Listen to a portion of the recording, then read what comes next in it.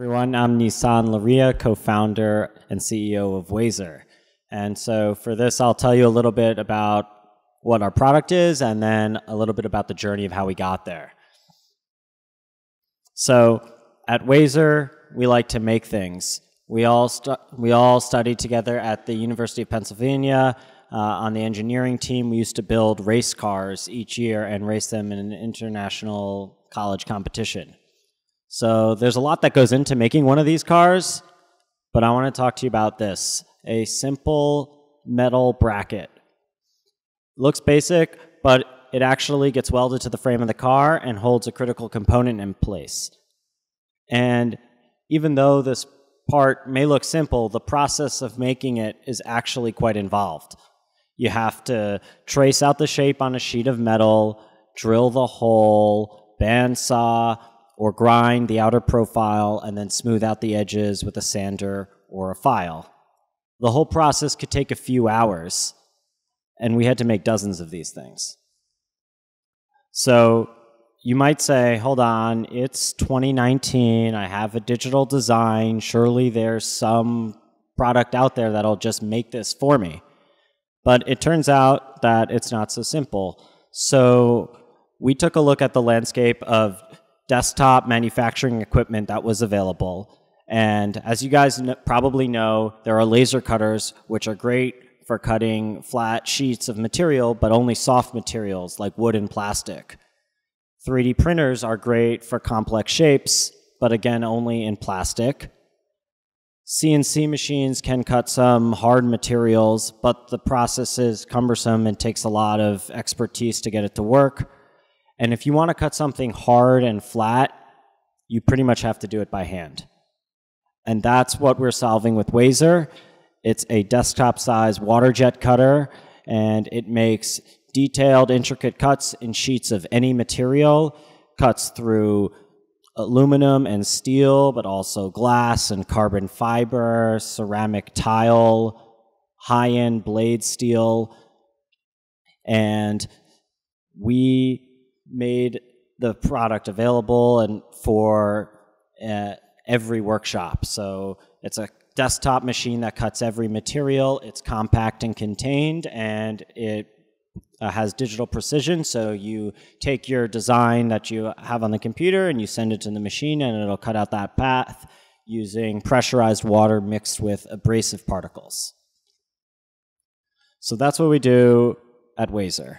And I'll tell you a little bit about my story of how I got here and for me, it started out in high school. And so I, my first sort of foray into making things was making a 20 foot tall trebuchet and entering it into the Punkin Chunkin, which is an annual pumpkin throwing competition in Delaware. And so me and a couple buddies of mine, we made this machine. We didn't really know what we were doing, but we we hoisted 800 pounds of counterweight to throw a four pound pumpkin about 600 feet. Yeah, 600 feet, which is like almost two football fields. So that's us with the machine.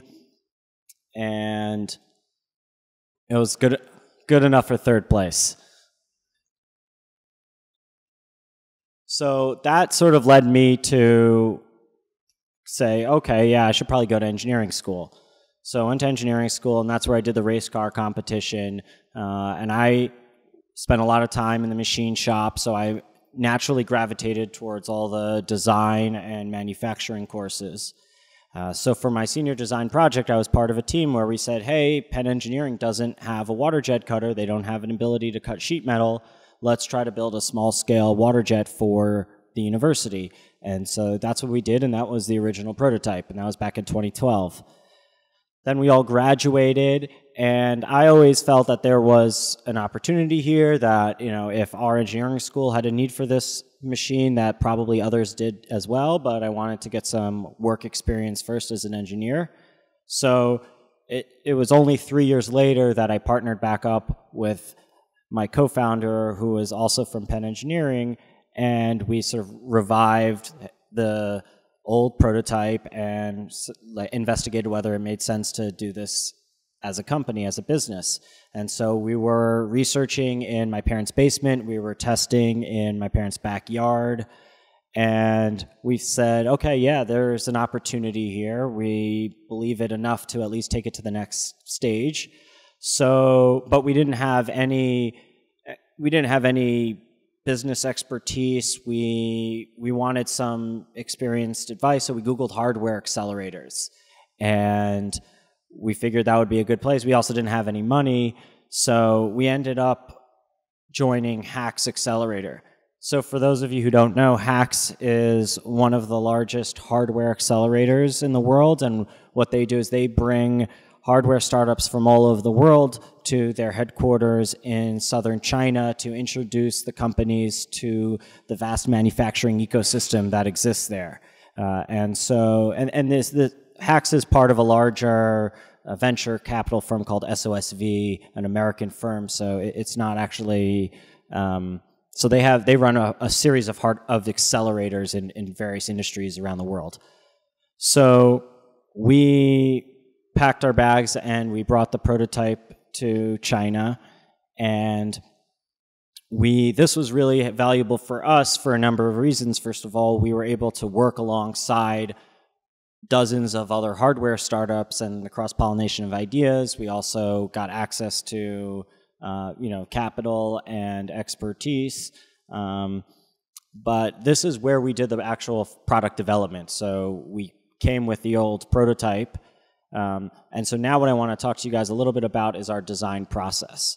And so this is the process that we use to design the entire machine, but since then it actually has become a decision making methodology that we use for any large strategic decisions in the company.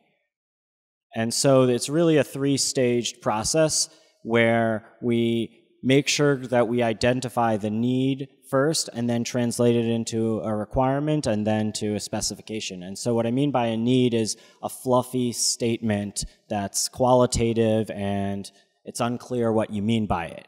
So like the machine needs to be quiet, right? It's we knew the machine needed to be quiet, but we didn't exactly know what that means, so we had to all agree on what that meant. And so we, for whatever reasons, we had the justification, we decided that it meant to be uh, below 85 dB at 24 inches. Okay, great. So now that you have that, then you can go ahead and specify, okay, that means the pump is this model, the motor is this model, this insulation, etc.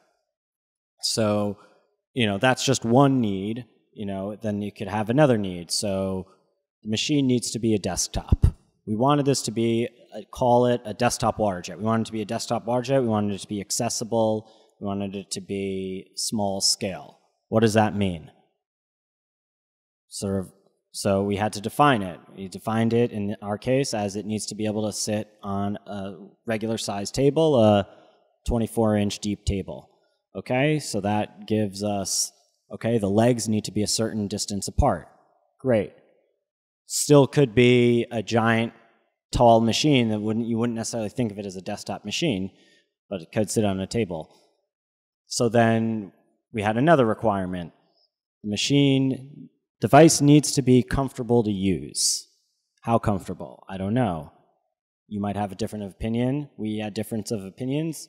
We agreed on Okay, the machine touch points must be at a height of 34 to 43 inches when on a, tall, a table that's 30 inches tall. Fully specified, you might disagree as to what that is. We have a justification for it, but ultimately it allowed us to then, okay, that sort of drove the specifications uh, for the machine. And so we hunkered down in a meeting room for like four days and you know, built a spreadsheet where we were outlining all of the needs and then agreeing on all of the quantitative requirements, which are solution independent, before we started designing the machine. And it led to a lot of efficiencies and uh, prevented a lot of conversations, disagreements down the road. So, just so you guys have a sense, this is what the product development phases looked like. We first had feature level proof of concepts. So we had a machine where we, we proved out the gantry, the motion system separately, the abrasive delivery system, the abrasive removal system. Then we had feature integration. So we would, we, you know, combined all of those features into a machine, a one single device that was roughly the size that we wanted it to be. And then we had to layer on top the industrial design, you know, what the machine is going to look like on the outside. So the integration of the design model and the engineering model. And that's what we came up with here. So this was the fifth prototype, and this is what we launched on Kickstarter with. It was a works like, looks like prototype, but not manufacturable at scale. So we ended, we launched on Kickstarter. We had a, a lot of interest, more than we expected. We uh, had we did 1.3 million in pre-order, so there was a lot of people that wanted this machine, which was great. Um, Welcome to the Wazer YouTube channel, where we see what weird things we can cut through. In honor of the 4th of July, we're gonna cut through steak. What better thing to cut out of a hunk of meat than the map of these United States?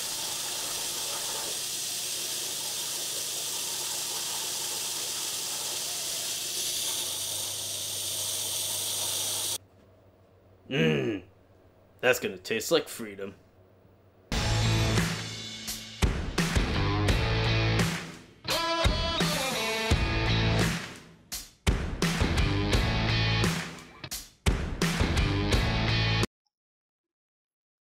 So that was that was the Kickstarter. Then we had to figure out, okay, how do we actually make hundreds of these things affordably? And so that was the design for manufacturing process. Uh, running out of time here, so I'm going to skip through this quickly. But essentially, what we a, a typical hardware company has a relationship with one primary supplier in China, the contract manufacturer, that then owns the relationships with all of the, the sub suppliers. Uh, and we ended up going direct to the living in China for 18 months with our engineering team actually visiting the factories and having direct relationships with all of our vendors. So we would be in conversation, we would visit the factories, we would we essentially design the product in communication with our suppliers, uh, you know, along the way. And we, you know, could get samples, and this way we could iterate very quickly and design, uh, you know, des design a product that with manufacturing in mind. Um, and then we ended up having, we have our own facility in China where all of our vendors ship the components to, and when we do inspection, so you could see there we do inspection and packaging ourselves, and then we box up a full container, and then we ship it to ourselves. So we have our Brooklyn facility uh, where we do the final assembly.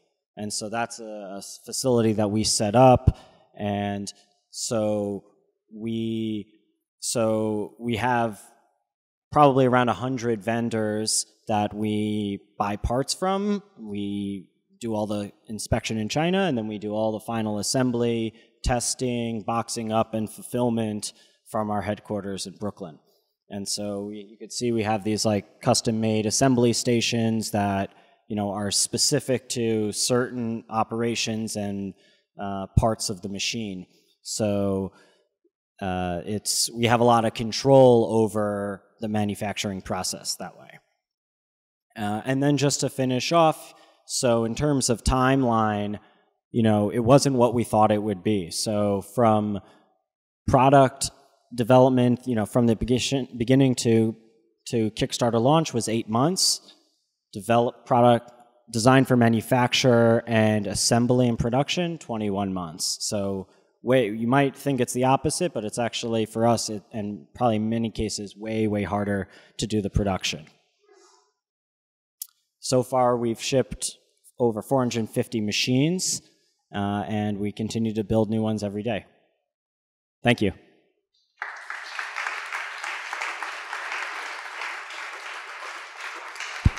Awesome. Thank you. Great chat. Great talk. Uh, quick question for me: um, Why why do you think this hadn't been created before? Was there a technological advancement that you guys capitalized on that had come about during the the building of this?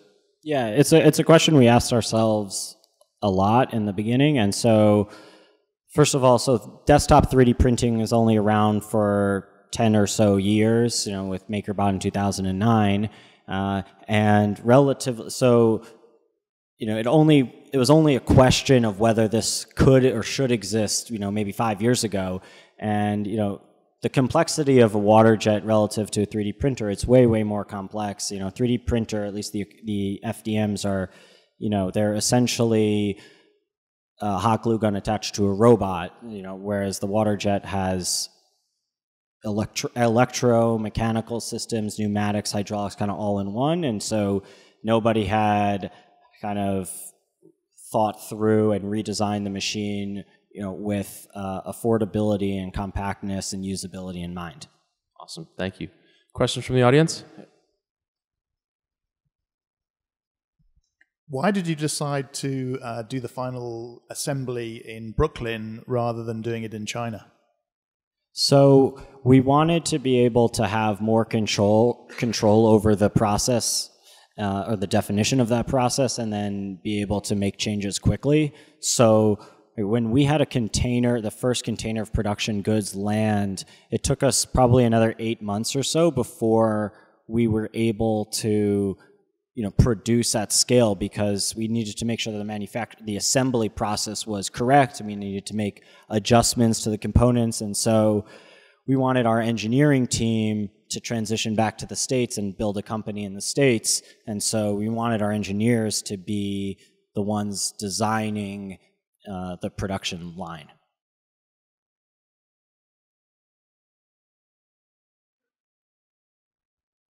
Hi, uh, why did you choose to go with Kickstarter?